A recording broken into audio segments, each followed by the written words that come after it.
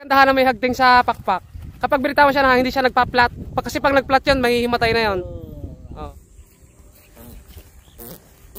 Yeah. Kiling. Hindi. Uy, wow. Ay, kiling pa. Ay, lalo kumiling. So,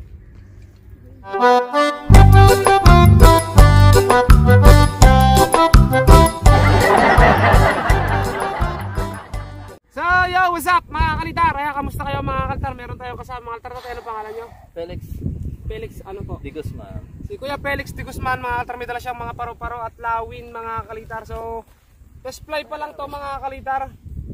Magte-test fly tayo ng paro-paro. Ito mga kalitar, test fly natin to. Ang problema daw nito mga kalitar ay nagsasapa. So, sa mga hindi sa alam, nakakaalam sa nagsasapa, yung nagsusuraka mga kalitar, nahihimatay. Pagdating ng katirikan. Ano yun? Nataba? Luag mga Nasa pa? Nasa pa? Nasa pa? Pag, na, pag nasa taas na, eh, biglang sisirok ng pababa pa pa kayong... Uh, Hindi naman, ano, hindi hindi titigil. wala, didiretso na. Oo. Ay, yung mga baka nga, dali takot na takot eh, gawa nga. Parang ano, mamoy. Parang nagsisila ako. Yun, yun na. Nagsisila oh, mga kalitar. Pero ito nabili ko ng ayos. Maganda ko nung mabili ko. Biniti nung makuha namin. Kaya nagpagawa ulit ako sa taga taga San Jose ng ganyan uli. Eh hindi naman maganda pagkaparo-paro. Yung para-paro niya yung dalawang as in nakagay yung laang na nilagyan laang nila ng pakpak din sa papadtang are papagay yung laang. Nagsasaparo kasi mga kalitar. So, unahin natin mga kalitar, pakpak. Tingnan natin. Kasi ang ganito kasi mga kalitar, pag flat na flat talaga, magsasapa talaga. Saka pag hindi dikit. Kaya dapat may hagting. Ah. Kaya nga sabi ko sa kontika ko, sana matagpuan namin ikaw at ah siyempre mahirap din nga matagpuan yung mga lalo na pagkaganitong ko ah. Kasi pa kayo, kuya. Yung malawin, mga- yung malawin mga kalitar, hindi pa na, yung lawin mga kalitar, hindi pa na-test fly. Sabi pa sa may paradahan ng biyahan Chaong, yung harap ng paradahan ng biyahan Chaong, yung may bili may tandahan doon ng mga Eurotex, ng mga foam, mga te- tela. Yun ang aming kuwan doon, ang aming tindahan doon. Ano, yung parang mandawi pa, hindi. Hindi, bali-bali ko ang pa namin dito yung uh, Eurotex mismo, hindi Mandawi. Ah, may, may, Bali ang uh, yan ang negosyo namin, uh, upholstery Kaya pati supply. iulat mo nga yung pakpak na isa. Ah. kaya na yung kagatawag.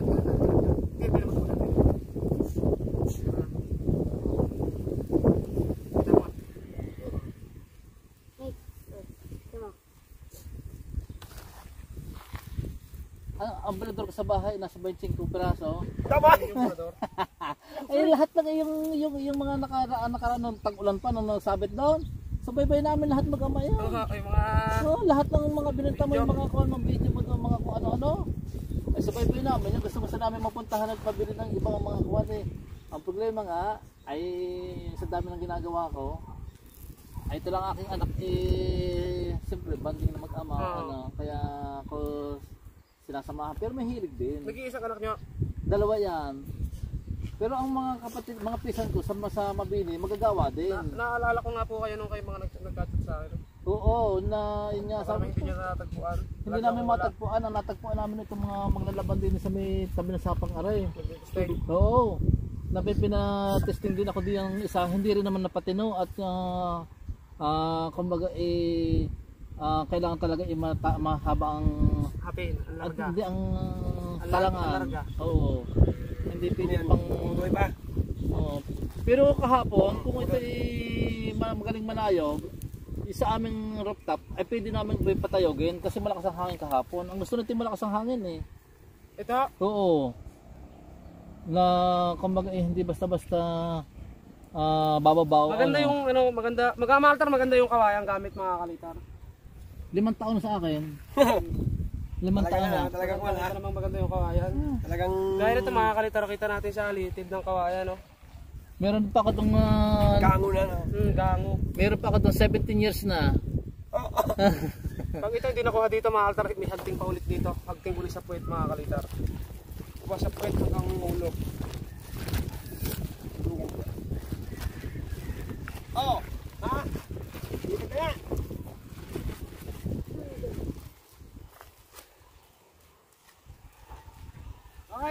Talang natin mga kalitar, tingnan natin. Ako magtatalang tatay sa ila.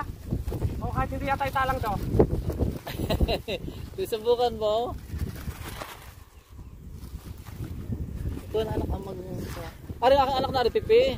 Oo, ah. Oo. Eh, tatay, kita kita sa video. Buo.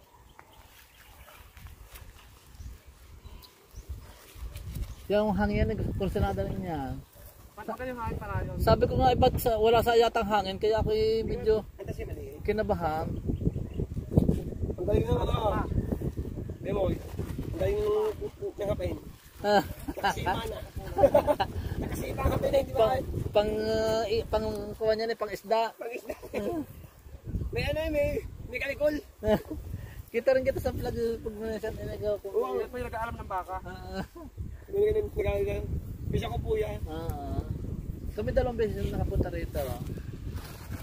Sabi ko, sa ngayon ka din bahay ni Kalita. Sabi nung abang tayo, yun po, doon po sila pagkilong yun. So, test fly nga natin. Ta- Meron ano mga, meron palang shovel.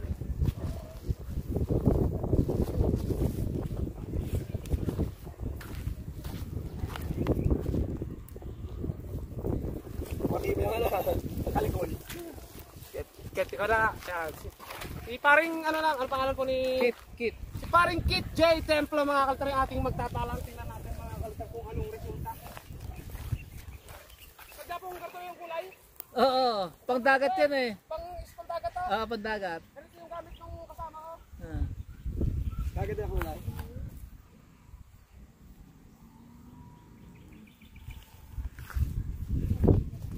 Ito na labo. Nice na. Okay pa kan. Wala! Okay.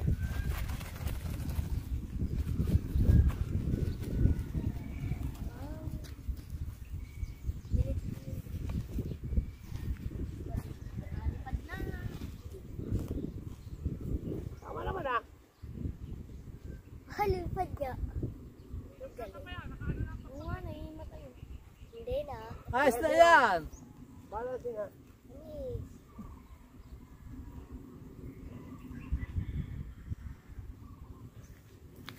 Nick, ikaw nga, nangangalay.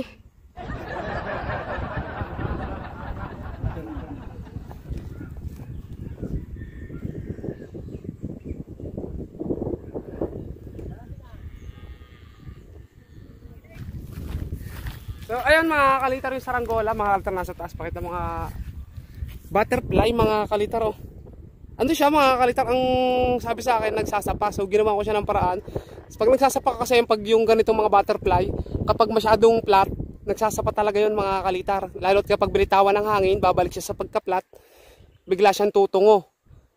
Kaya kailangan nun may hagting mga kalitar sa magkabilang pakpak para hindi siya, pag binitawan siya ng hangin, hindi magiging flat uli sa taas at hindi siya tutungo. Ah, pero may problema pa siya, maltar killing siya.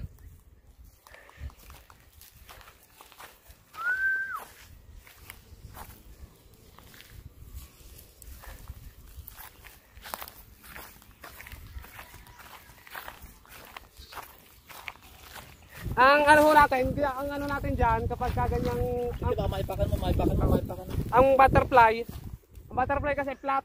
Oo, Kapag yan ay binitawan hangin sa taas, hindi nakabend. oo. Pag binitawan ng hangin sa taas, pag bumalik, bibitaw, ba flat. Parang uuna, yung hangin papasok Agad sa na, oo. tutungo. Hi- Parang hihiyad. Pagka kasi bibagting, bitawan mo ng hangin, nakaliad pa rin. Nakaliad Hindi pa rin. siya, hindi siya magdadive. Pero kapag nagdive pa rin, meron pa ho yun, meron pa yun. Ang babagtingin nyo naman, alam may problema po itong iling. Ang babagtingan naman natin, ganito. Meron ulo, tapos puwet. Kailangan nakabangkong din yon hindi masyadong tuwid. Bahagtingin din para bumend. Oo. Para ang kanyang ano, bangkong sa taas, pag tinamaan ng hangin, lagpasan. Oo. Kuya, yun eh. What to do ba? Malikot yun ang akin yun. Sabihin, tumaas pa rin. Oo. Ano nakatali? So ito mga kalitar, problema nito, kiling. So madali naman ayusin yung kiling. Kasi parang sukat na lilipat lang. So ito mga kalitar, Okay. okay na to. Yan o, baby mo mayo naman ah. Ayan, pag, pag tinatabahan pala siya ng hangin, tumutuwid. Pero hindi pa rin ganun kasi yun ang tuwid. Ayan, ganda, ganda mga altar sa taas oh. Zoom mo nga akin. Ang ganda nga. Oh. Ang kanyang design naghahalong turtle mga kalitar oh. Na butterfly. Ang ganda, ang ganda mga kalitar nito sa ranggolang to. Saka napaka napakadaling paliparin ng ganitong mga butterfly kasi nga wala siyang baskagan mga kalitar na matigas. Kaya nga na, nung nakakita ko, nung makakita ko yan eh, pinuntahan ko yung Oo. may-ari niyan eh. Shoutout ulit kay tatay mga kalitar kasama natin nagpapalipad. So dinayo nila para pa-repair to mga kalitar. Ay hindi pa nila alam yung ano mga kalitar doon eh, yung tawag doon. Diskarte kaya yun ginawa natin. Ito mga kalitar papakita ko sa inyo, Pa- pakita mo kayo. Ito mga kalitar pandaga to mga kalitar ito talaga yung matibay na tanse. So nakakita ko dati nito sa labanan, talagang hindi kahit gaano kalaki yung saranggola hindi napuputol. Pag naman pala sobrang laki mga kalitar.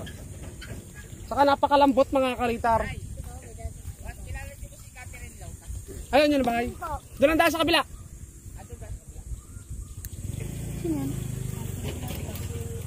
Ang sarap paliparin nito mga kalitar ah. So, tatay, bababa ko na to. Yung...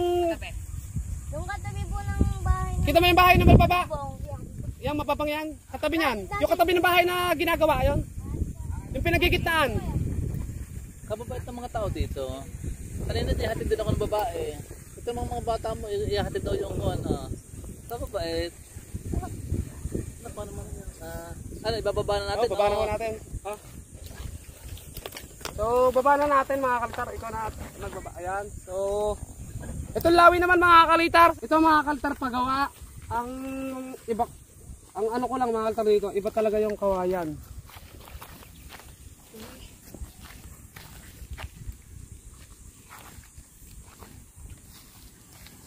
Ito mga kalitar, pakita ko sa inyo. May lawin dito. Hindi ko na puputput arena.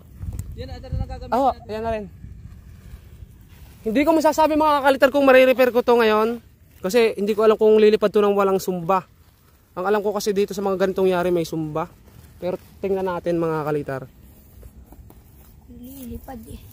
Hindi siya na ano, hindi siya nabalik. Oh. Ayun. Oh, di ba? Oh. Kita niyo ang kagandahan na may hagting sa pakpak. Kapag binitawan siya na hindi siya nagpa-flat. Kasi pag nag-flat 'yon, mahihimatay na 'yon. Oh. Ayun, yun lang mga altar nilagay ko, yung hagting na 'yon. So kapag hindi pa sapat 'yon, pwedeng maghagting sa ulo hanggang puwet. Tapos ito, test play natin mga kalitar. Sa amin ang tawag dito ay gato. Oh, gato, hindi meron pa isa. Taiwanak. Hindi. Yang ang ribado mga kalitar. Ribado yung Hindi naman malakas ang tao. ribado yung kawayan. Walang kasamang pabigat sa ulo. Wala pabigat? Niya. Uy, wow. Hindi ko gusto. Huwag mo pa yun. Balik. Uy. Ayun, nagpapalit dito kayo. Oo. Basta na natin dulo.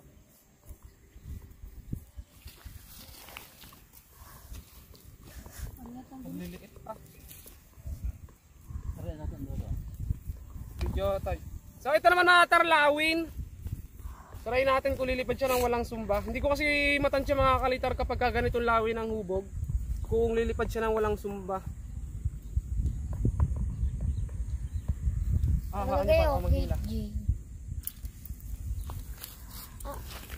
Ano to?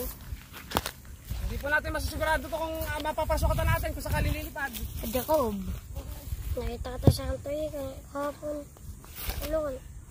Pasang ka nun? Pasang ka? Malabot na rin. Hello. Sa ano po? Buntot. Meron sa batot. Maliit po.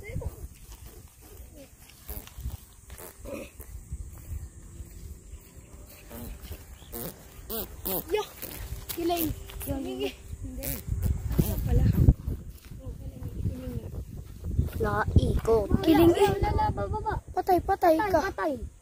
Sabi, kiling eh. Naikot. Kita na. Sabi sa kuryente. Kiling eh. Butek. Kulang sa sumba. Kaya ako mga. Ba? Bilang may pabigat. Kiling mo eh. Bilang may pabigat. Anong pabigat? Kanina ko kayo sa pasapitan na na. Para pakat pa eh. Lakas at tunog ah. Kiling ah. ah. Yeah, pwede na Huwag ka lang siya sampay. Ha? Pwede na po. Yung natakbo, running man. Pwede na sumba yan? Ay, litik ka.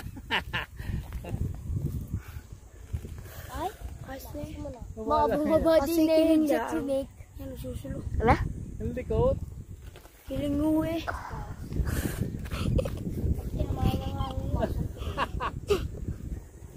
Yun, naka-spinning wheel na naman. Okay na ang pwede. Ay, electric. Electric fan. Ito naman, test fly natin to. So, ayun mga kalitar, yung dilaw natin test fly, ano siya, kileng at gulang siya sa sumba kasi umiikot siya mga kalitar. Pero ano ka titino pa? Hindi na. Titino pa ho yan. Ang ano niyan, kahit pako na, lagyan niya ng pako. Kileng. Ito mga kalitar ito, lumilipad daw siya dati. Ang gumawa po nito ay taga saan? Taga Muntinpulo. Taga Munting Pulo, mga kalitar yung shout out. Lipa po yun, di ba? Hindi pa. Lipa. So, ito test fly. Lumilipad po ito ng walang sumba. Oo. Sadyang, sad- sadyang walang sumba. Yung walang sumba. Oo. Ala, baligtad na naman. Diyan, nagdadumi. Oo, ang bilis. Ay, kiling yun. Kiling. Hindi. Hindi, hindi pa naman naangat. Oh, ano? Pag umangat, oh, ano? Ano? Ayun. Kiling din. Strike si Jacob sa ulo. Puro kiling. Oo, nga, nakabangkong gayon. Puro kiling. Ang gawa na. Kabit. Yeah. Anong guma?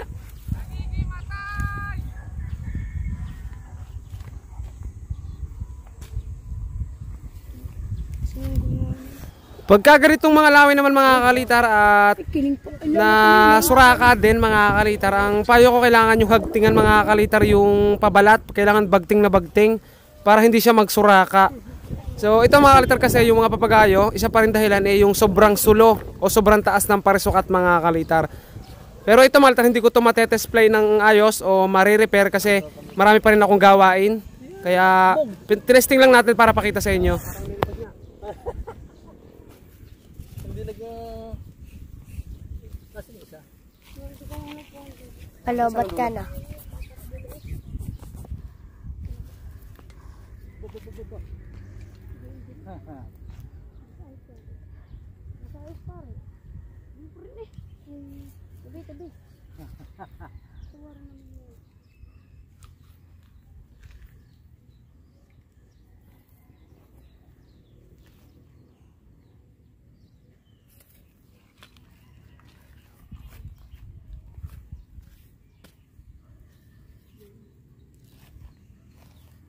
So ayun mga kaltar sa tatlong saranggola, mga kaltar ito yung medyo matino. So ito kulang pa rin mga kaltar siya sa tawag ba dito mga kaltar?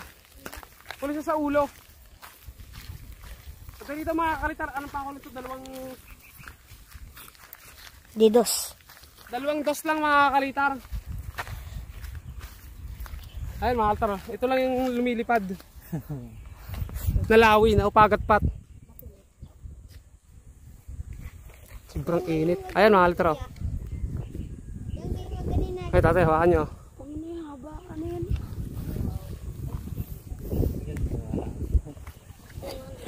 Pag may ano yan mga kaltar, dalawang dito sa ulo, mapakaganda niya lumipad. Hindi magaling. Ayos lang yan. Oo. Pero pagka ganyan, dapat talaga bidas kasi mahirap aangatin kasi nagewang. May bubuyog din ako mga kaltar yun nasa taas oh. Kumalikot na bubuyog ko. Oh, yan mga kaltar oh. Kapag mataas na pala mga kalitar, nagpapanayon. Pero kapag babagong aangat, pag iwang-gewang mahirap pa, paangatin. Kaya kailangan pa ng didos mga kalitar. Dalawang didos. Pero ayos mga kaltar, yun na lumipad. Ayan mga kaltar, nakapag-test play na tayo at pauwi na tayo sa bahay mga kalitar. Bali, ayun nga. So yung dalawang lawin mga kaltar, i-repairin talaga. Mapakahirap talaga patinuin mga kaltar kapag mapapayat yung sikang. Kailangan talaga lagi ng, mas madalas kailangan nun may sumba. Kaya ayun mga kalitar, i-repairin. Mga kalitar, hanggang dito na lang muna yung videos natin mga kalitar. Maraming maraming salamat sa inyong panonood. At huwag niyo kalimutan mag-subscribe mga kalitar. Thank you very big sa pagsama sa akin isa-isang mainit na pagpapalipad mga kalitar. Ito tayo mga kalitar. So bye bye mga kalitar. Hanggang dito na lang. Ulit. Bukas ulit mga kalitar. Ayun.